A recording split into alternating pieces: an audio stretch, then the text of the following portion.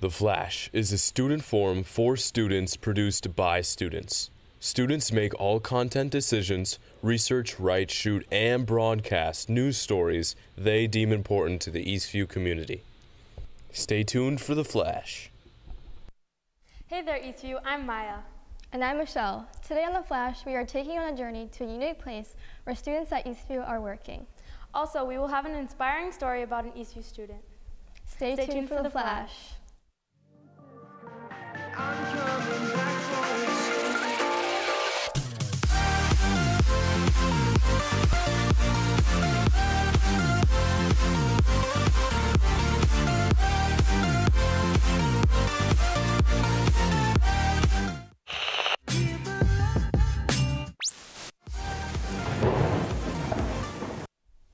students love money, and who would not love making money and being able to work with animals? Here's Grace with the news on a cool place where students at Eastview work.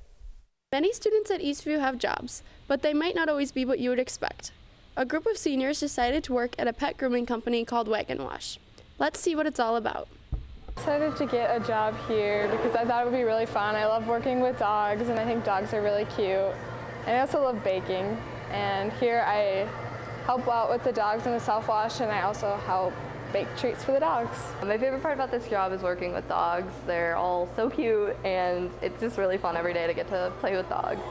A typical day for me would either be like baking in the bakery, so I get to like bake dog treats. It sounds pretty weird, but it's fun.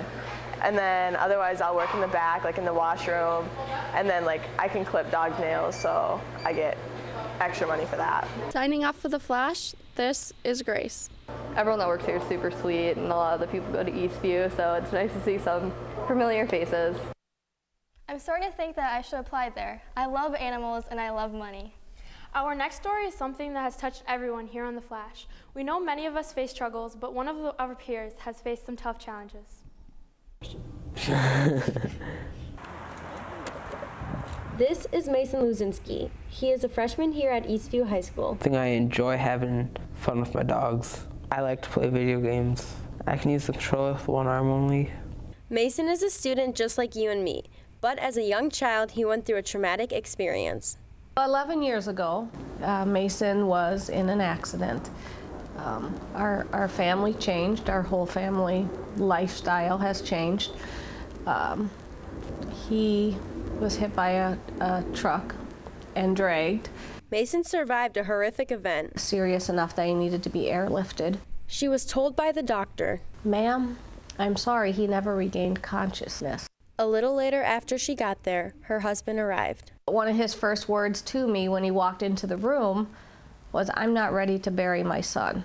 When Mason was in the hospital, he was fighting for his life. I had surgeries on my legs, I had surgeries on my arm, and I had surgeries on my head.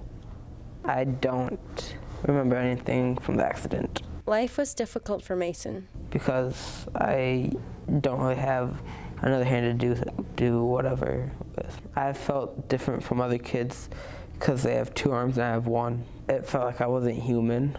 It's like a kid that survived a truck. What felt like I wasn't human at all.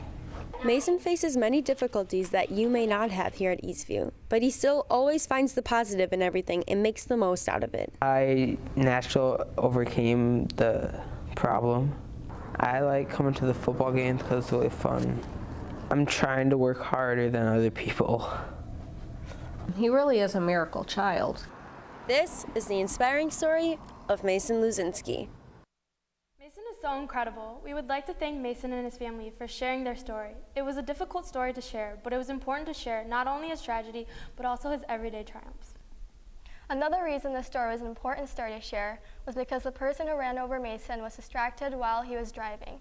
Please remember this and avoid all distractions every time you drive. Thanks for watching. We'll be back sooner than usual for our next show. We air next Wednesday before MEA break. Stay, tuned for the credits, Eastview. Money shot, money shot, money shot. Congress? Fix Congress. Get rid of it? No Congress. No Congress. No Congress. Who rules? Who rules? No one.